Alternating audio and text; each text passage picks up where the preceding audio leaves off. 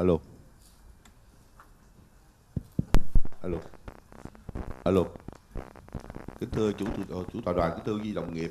Thì uh, trong phần trình bày cuối cùng ngày hôm nay thì tôi xin uh, được phép trình bày về vấn đề chẩn đoán ở hang ở Dung Nhi vốn là một cái thách thức đối với rất nhiều bác sĩ lâm sàng chúng ta. Và chúng ta chúng tôi qua đây chúng tôi cũng xin trình bày tiếp một cái đồng thuận về chẩn đoán điều trị hang hang ở tại Dung Nhi của Hậu Hồ rằng ở trẻ em á. Ở trẻ em thì vấn đề mà rất nhiều người quan tâm là vấn đề khò khè vấn đề vấn đề rất phổ biến. Theo ước tính của tổ chức y tế thế giới mỗi trẻ sinh ra chỉ có từ 30 đến 40 phần trăm là sẽ có khò khè và đây là mối ưu tư rất lớn của rất nhiều ông xã bố bà mẹ có con ở lứa tuổi còn bố lứa tuổi dung nhi hoặc là thường gọi đó với những cháu dưới 2 tuổi. Và đối với bác sĩ mình cũng vậy, thì đây là cũng là vấn đề mình rất là quan tâm. Thế như thì uh, có một nghiên cứu đến mức mà cái uh, châu Âu thì họ đặt ra một cái đội đặc nhiệm của hầu hết châu Âu để mà đánh giá về cái bằng chứng về đánh giá khò khẽ thế nào thì người ta cũng công nhận rằng nhiều nghiên cứu lâu dài về hen các em cho thấy rằng 25% tức là một phần tư trường hợp trẻ hen dai dẳng thì bắt đầu đã có biểu hiện khò khè từ 6 tháng tuổi đã có rồi.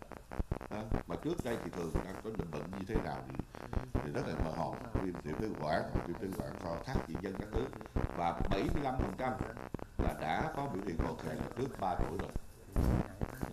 Và nói tới cái vấn đề khò khè trẻ em chắc chúng ta cũng nhớ rất là nhiều cái nghiên cứu đoàn hệ rất nổi tiếng của nhóm nghiên cứu ở ờ, ở, của, ở bang Texas, của trường hợp Texas, ở bang Arizona, Hoa Kỳ.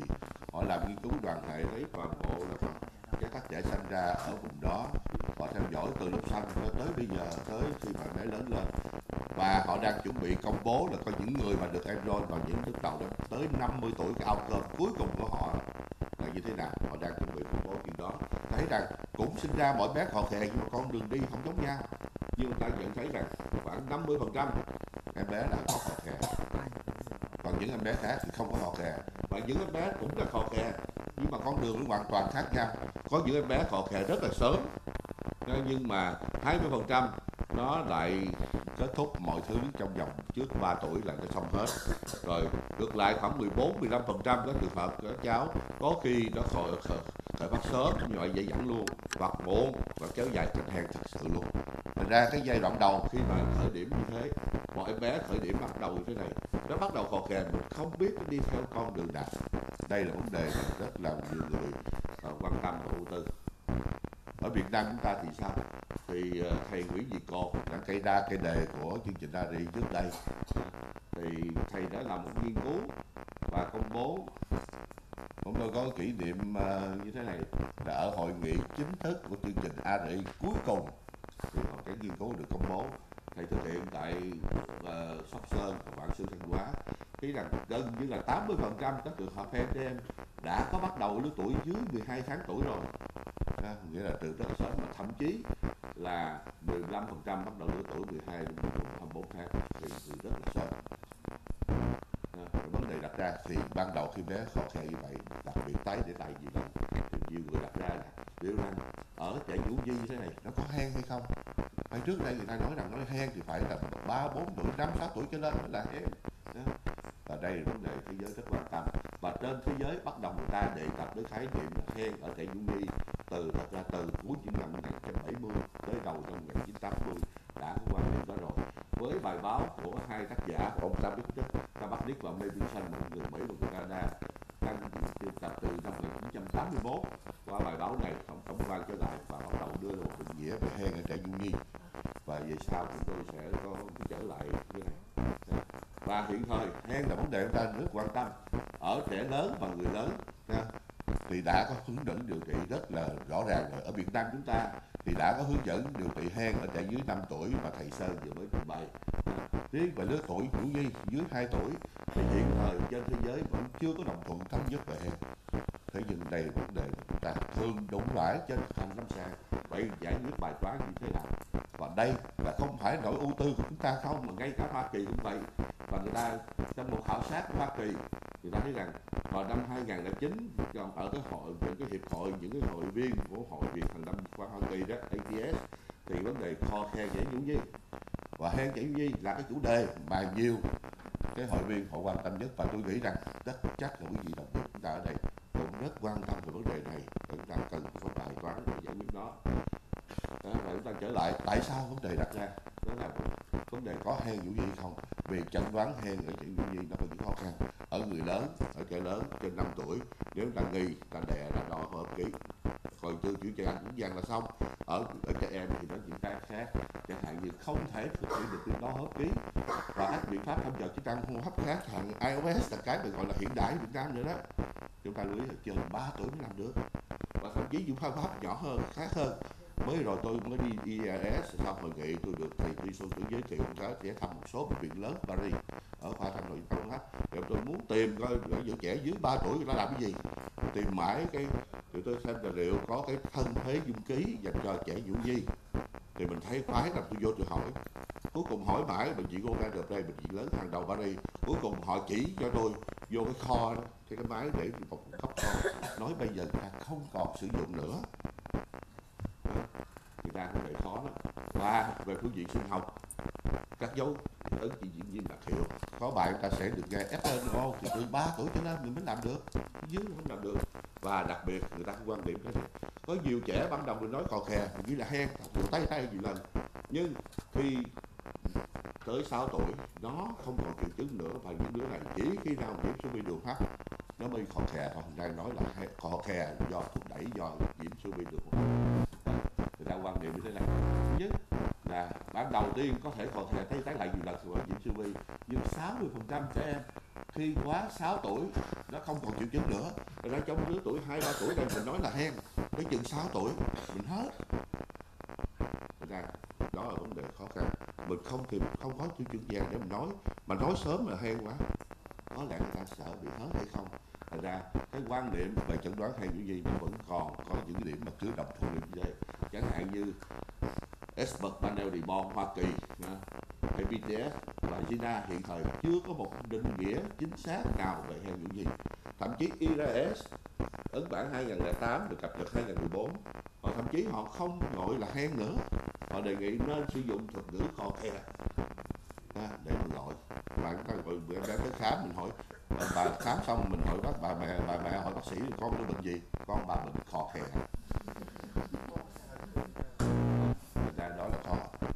nhưng mà ngược lại, mình nhìn trong khía cạnh khác. Tôi đồng ý rằng 60 phần trăm những em bé này, nó quá 6 tuổi thì không còn triệu chứng. Nhưng nếu chúng ta làm bài toán từ ngược lại 60 phần trăm không còn triệu chứng khi 6 tuổi, nhưng có nghĩa là 40 phần trăm còn lại, nó vẫn còn triệu chứng dai dẳng và thật sự là hen 40 phần trăm này là không ai bàn cãi, nó sự là hen như vậy thì 40 phần trăm con số này đó là không nhỏ. Nếu như ở trong giai đoạn này 40% những cháu này nó thật sự là hen mà không được điều trị. Thì đương nhiên cái hậu quả nó là điều mà chúng ta phải nghĩ tới. À, ra vì vậy bên cạnh đó có rất nhiều các hướng dẫn điều trị khác nhau trên thế giới. Họ có những định nghĩa khác nhau. Chẳng hạn ta đến Đức Davidson thì hai tác giả đầu tiên đó, họ coi họ, họ có được định nghĩa đầu tiên mà bên Đức thì cũng có đồng thuận cũng lấy được nữa tương tự như thế và lấy thêm các tiêu chí mà trong cái tiêu chí giống tay nếu ta quen rồi thì ngày nay sẽ giống giống như của các API chỉ số tuyến ngắn theo thì áp dụng đó Prato 2008 cũng của châu Âu luôn và cũng giống nước khác thì ta xem xét là chẩn đoán theo nếu có bằng chứng là ba đợt trên ba đợt tắc nghẽn khí quản có hồi phục trong vòng 6 tháng trước và của Pháp thì ta lấy cái định nghĩa là sàng của tập trung để xem một số cái chế biến của họ và vấn đề ra thế giới là vậy, chúng tôi trở lại. 40 phần trăm những cháu bây giờ sau mình có bằng chứng, thật sự là hen rồi. Vì nó thật sự dai dẳng. Mà mình ban đầu mình không nói nó là hen nó khó khe thôi. Bệnh khó khe mình không điều trị thì hậu quả gì cho nó? Cái hậu quả đó sẽ đến trước mắt và cả lâu dài vậy trước mắt cả là trẻ dưới 24 tháng tuổi, là chính là lứa tuổi có nguy cơ nhập viện tử vong vì hen cao nhất so với nhóm những khác. Cái điều này do Lasma và Candy và cộng sự đã ghi nhận rất rõ ở bệnh viện bọn chúng tôi chúng tôi khảo sát về thống kê về hen năm 2017 nói về số khám thì trẻ loại được chẩn đoán về hen chỉ chiếm 8 phần 9 phần trăm cái con số chung. Như quý vị hãy nhìn con số nhập viện 21 phần trăm. Người cứ năm em bé thì một đứa nhập viện, nó cao hơn hẳn so với tỷ lệ chung nhập viện của mấy hen chỉ có 4 phần trăm thôi. Và không chỉ trước mắt mà lâu dài nữa là người ta thấy rằng có nhiều bằng chứng rằng nếu mà khò khè trong giai đoạn sớm của mình, của cuộc đời, mà mình không điều trị tới nơi tới chốn nó kết hợp với lại suy giảm chức năng pháp lúc trẻ lớn cao tuổi, và thậm chí tới lứa tuổi người lớn luôn. Và cuối cùng, cái điều mà thế giới hiện tại đã sợ gì lắm, đó là tái cấu trúc đường thở sau này. Hiện thời trên thế giới chưa có một biện pháp điều trị nào thành công đối khi mà có hiện tượng tái cấu trúc đường thở này. Và người lớn thì đang rất sợ. CBD thì đá CBD thì thường ta nói rằng nó liên quan thuốc lá, nhưng mà người ta người ta còn có cái dạng CBD không liên quan thuốc lá. Và trong những cái mối liên quan đó, ta nói có mối liên quan giữa kho kè và hen sớm ở những gì? Và CBD ở những cụ già này là đó cái hậu quả trước mặt của là như thế. Đó. và trên thực tế trên lâm sàng đang nhiều năm trước đây và thầy Dũng cũng còn thường hay hay kêu gọi nhắc tới, bây giờ mình đừng không dùng chữ dạng nữa ông gọi là viêm phế quản dạng hen cái phế quản co thắt gì gì dân dân các thứ nữa. Nhưng mà những vấn đề này nó vẫn được sử dụng rất là mơ hồ. Cái việc định bệnh mình mơ hồ thì việc điều trị mình mơ mộng. À, mà em bé thì sẽ mơ ngủ luôn. À, và hậu quả tất khiếu là đương nhiên nhiều em bé được bị chẩn đoán không đúng điều trị không phù hợp. Và tiên liệu trước mắt và lâu dài như tôi đã nói trên nó hoàn toàn nó sẽ không tốt chút nào cho em bé. À, và ngược lại đặt cho bài toán khác nếu như những em bé đó, nếu em bé này được chẩn đoán là hàng sớm trước lứa tuổi hai ba tuổi, mà mình điều trị, thì có lợi ích gì? Người ta thấy rằng có cho phép mình tránh chậm trễ việc điều trị, giảm gánh nặng bệnh tật cho trẻ. Bây giờ ta nên nhớ rằng trẻ này, nó nhập viện bị hen cao nhất và tỷ lệ tử vong cao nhất cái thứ hai nữa rồi theo y văn thấy rằng có khả năng giúp phát triển của phổi và chức năng hấp của cháu được tốt hơn được tối ưu hơn khi mà lứa tuổi lớn hơn và đương nhiên thì vì vấn đề cách tiếp nhận tiếp cận ta ta không được tiêu chuẩn vàng là hô hấp ký hay những mặt cơ về vấn đề sinh học khác. Về cận lâm sàng để hỗ trợ chúng ta buộc lòng tiếp cận cách tiếp cận lâm sàng. Và đương nhiên thì cũng như mọi tiếp cận lâm sàng khác cũng như chẩn đoán chẩn đoán viêm phổi của thầy Dũng chẳng hạn vừa rồi rất hay. Chúng ta thấy là cũng là một cách tiếp cận lâm sàng. Người ta đâu khuyến cáo trực tiếp quan toàn bộ. À, cũng không cần phải làm cái sức toàn bộ cho mọi trẻ bao giờ. Lâm sàng là đủ rồi. Thì đó là cách tiếp cận lâm sàng. Thì đương nhiên cách tiếp cận lâm sàng như thế này thì đôi khi nó có thể hơi, hơi quá mức một chút cũng giống như viêm phổi chỉ đến viêm cỡ không, có thể hơi lố chút xíu. Bởi vì có những cháu, nó là viêm tiểu phế quản đó. nhưng nếu cưng nhắc giữa cái nguy cơ xấu mà xảy ra trước mắt hay lâu dài của nó, thì cái lợi của nó, đó, chúng tôi nghĩ rằng cái lợi vẫn có chiều lợi hơn. Đó là điều mà chúng tôi bỏ thành phố Hồ Chí Minh chúng tôi tâm và và để mà để này đưa đến được chẩn đoán, chúng tôi có lượt qua một số tham khảo một số cái lưu đồ, một số cái hướng chẩn đoán trên thế giới thì sao? Thứ nhất là nó nhắc lại về tự nghĩa của ta đức sinh ông này ông coi là em bé gọi là hen. Nếu như em bé thì khò khè kèm khó thở. Quý vị lưu ý rằng đó là khò khè phải kèm khó thở nha. Khò khè không thì không đủ. Mà xảy ra ít nhất 3 lần trong 2 năm đầu. Không kể tuổi khởi phát là bao nhiêu yếu tố khởi phát có hay không kệ nó và tiền sử diễn bản của gia đình kệ nó luôn. Thì định nghĩa của Tabactic Division đó. Và tới năm 1988 thì có một hội nghị đồng thuận ở London của 27 chuyên gia pháp đi hàng đầu ở thời điểm đó. Thì đồng ý là sử dụng cái định nghĩa này nhưng định nghĩa này chúng ta thấy rằng có cái điểm hạn chế, đó là dùng chữ khò khè và khó thở nó dựa trên một cái tiêu chuẩn chẩn bán khò khè đặt giá khò khè khó vô cùng và xây dựng một cái nhà dựa trên nền gạch. Nó mơ hồ, thì nó sẽ khó khăn. Ra, vì do đó, cái định nghĩa Tabactic Levinson là vậy sao? Ít người tiếp tục sử dụng một cách đầy đủ nữa, hoặc có khi họ lược bớt đi, họ thêm cái này thêm cái khác. Cái thứ hai nữa là đối với Hoa Kỳ, thì họ cho rằng việc chẩn đoán là khó khăn đó, và người ta coi cái việc điều trị thử có thể có lợi. Và Gina cũng tương tự như thế, cũng coi cái việc điều trị thử và đã muốn điều trị thử đó sau hai ba tháng sử dụng thuốc. Là cái tiêu chuẩn để chẩn đoán. Prato thì cũng dựa trên chẩn đoán lâm sàng. Bởi lẽ và thường là dựa trên cái test đáp ứng điều trị. Và cậu lưu ý là cần phải, trước khi mình nói là hen, phải loại trừ hết những loại bệnh khác mà gây biểu hiện hoặc dạng tương tự như vậy. Đây là chẳng hạn như của công suất trong suýt bắt tọt này đã nói là và đối với đại pháp thì họ cũng sử dụng định nghĩa cũng giống giống như tâm bạch Levinson y như vậy? nhưng họ thêm hai cái ý một là các đợt này phải xảy ra không liên tục với giai đoạn gián đoạn không triệu chứng còn bị suốt luôn không giai đoạn nào mà gián đoạn cả. Thì là phải nghĩ chuyện khác. Và phải loại trừ các trường đoạn sẽ kịp có được sai đó là của pháp. Đó, đây cái lưu đồ của họ. Mọi trẻ còn chủ nghĩa không thể họ chữ ít quang được thẳng tức bào thở ra và xem trên lâm sàng thấy x quang có dấu hiệu báo động hay không. À, nếu có thì thôi thấy chuyển khoa rồi thì cũng tính. Còn nếu không thì họ điều trị thử luôn. À, không công thì đó là hèn còn nếu thất bại thì họ chuyển vào thầy dũng để thầy dũng thâu thủy trực tiếp những cái dấu hiệu khác để báo động thì họ cũng đưa ra rất là rất là cụ thể như thế này. Và một cái một cái một cái hướng dẫn điều trị khác của tôn tôn hoa kỳ của Canada. Và vì sao hội đồng ngực của Canada CTS họ cũng sử dụng y như thế? Thì họ cũng định nghĩa hen ở trẻ nhỏ à, dưới 3 tuổi thì không đợi cho hấp là cũng dựa vào khi nào có triệu chứng giống như hen xảy ra hoặc là thường xuyên hay tái phát trên hai đợt à, và có các cả cái chuyển sao một tắc nghẽn đường thở. Hai là tắc nghẽn đường thở để phục hồi được cũng được. Cái thứ ba là lâm sàng không nghi ngờ tử vong test à, và trong đó thì ờ, cái gì cái điều chỉnh đó. Còn về Việt Nam chúng ta thì uh, mình có cần cũng cần thì thời mình chưa có cái hướng dẫn điều trị tốc độ địa trung cả nước. Thật ra mà vấn đề là thực hành mình đối diện mỗi ngày người ta bắt buộc chúng đi, chốn trong khi chờ đợi một lưu hồ chẩn đoán chung cả nước thì chúng ta cần phải một đồng thuận nhất định và vì vậy vào tháng 7 năm 2017 ở thành phố Hồ Chí Minh tôi đã lập một chuyên ban chuyên môn gồm 10 chuyên gia của ba hai trường đại học thành phố Hồ Chí Minh và ba bệnh viện các bệnh viện lớn thành phố ba bệnh viện lớn à, để mà chúng tôi uh, có thể đưa tới một đồng thuận nhất định trong điều kiện mình chưa có một hướng dẫn chung của cả nước và sau khi chúng tôi làm việc rất nghiêm túc thì chúng tôi có được một đồng thuận đã được các công bố vào tháng 3 năm 2018 thì hội đồng hội nghị thương hiệu thành phố Hồ Chí Minh và chúng tôi xin giới thiệu với quý đồng nghiệp những quan điểm mà chúng tôi đồng thuận về phương diện chẩn đoán để xin ý kiến của quý thầy cô. Trong ban chủ tọa đoàn như quý đồng nghiệp ở đây, chúng tôi chỉ phụ trú là phương diện chẩn đoán thôi. Thứ nhất, chúng tôi đồng đội thế này thứ nhất là chúng ta cái chỉ ra chủ yếu là chẩn đoán là làm sàng dựa trên tiền sử bệnh sử vì mình không có xét nghiệm chẩn đoán thành quy chuyên biệt nào cả, có xét áp dụng được.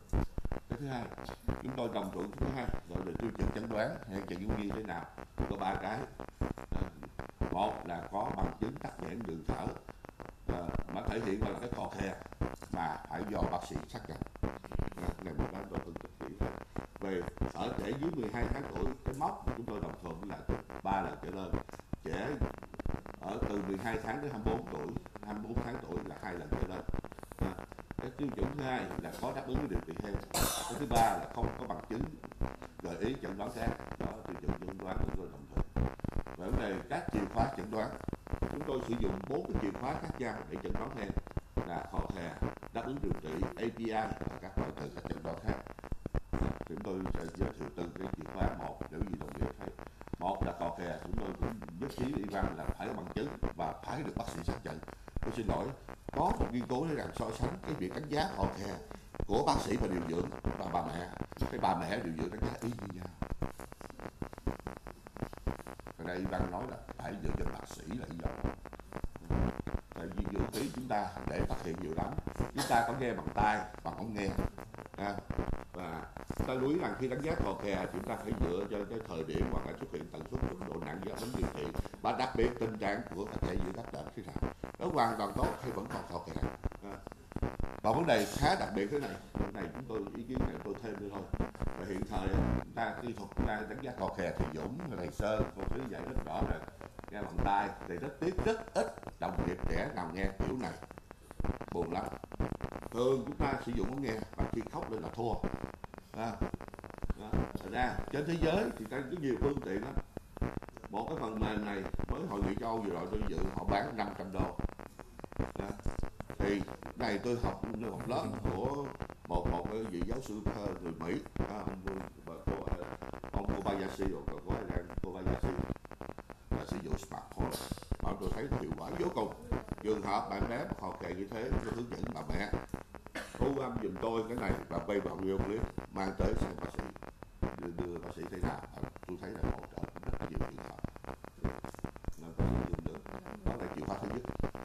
Khóa thứ hai là chúng tôi dựa trên tiêu chí chỉ số tiêu chuẩn hèn tại sao dựa trên tiêu chí tiêu đoán hèn thì có rất nhiều tiêu chí chẩn chẩn chẩn đoán hèn khác nhau.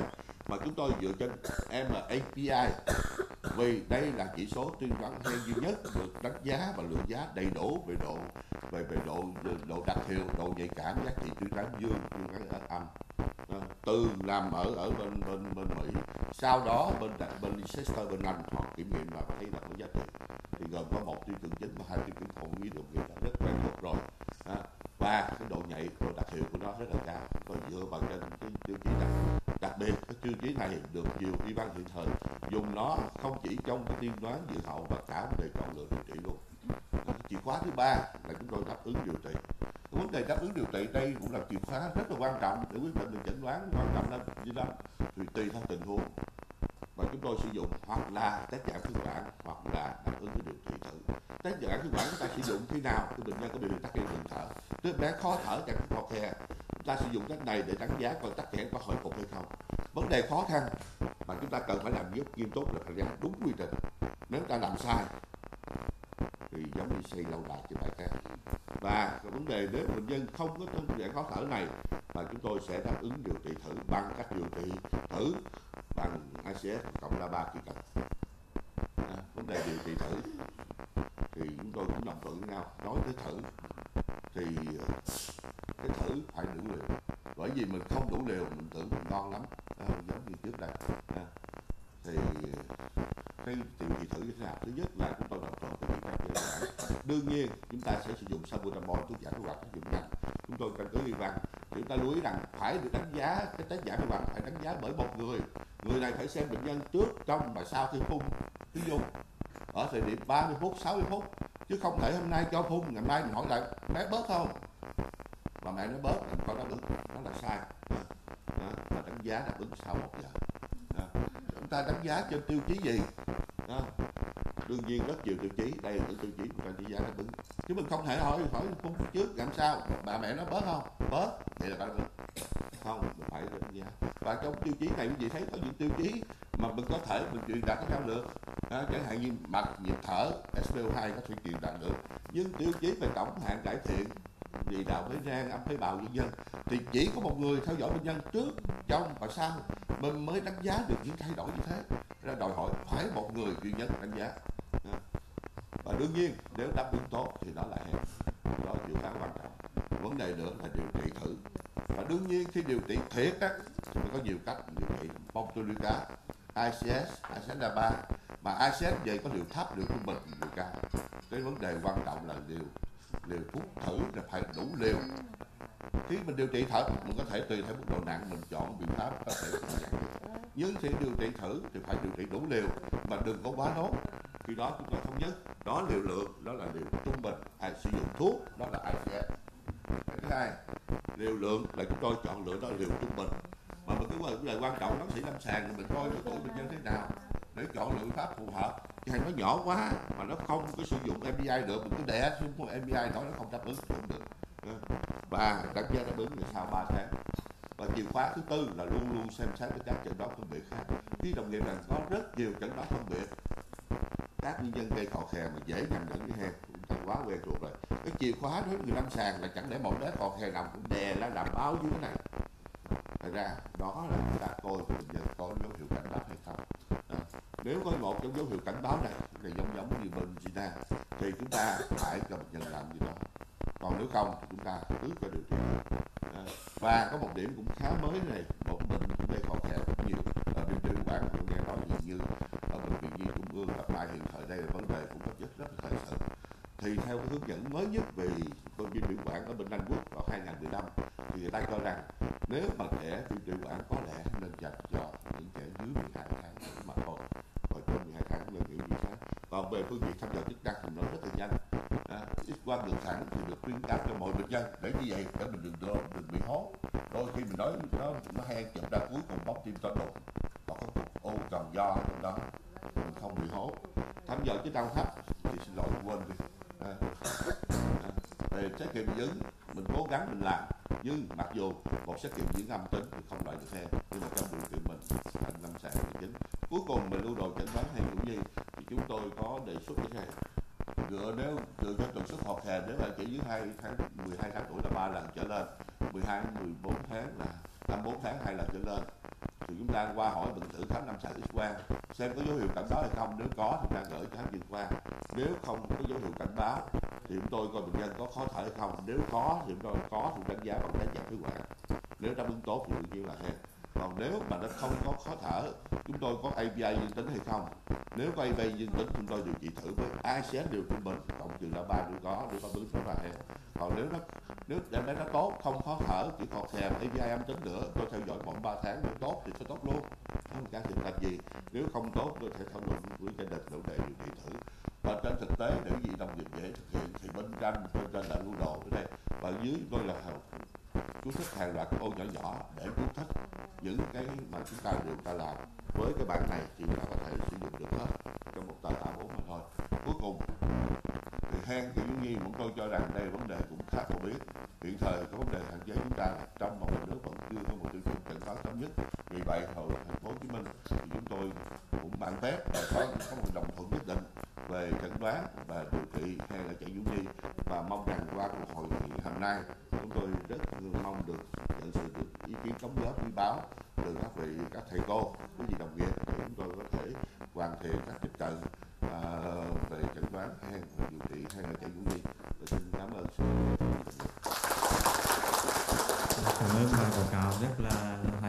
Cảm ơn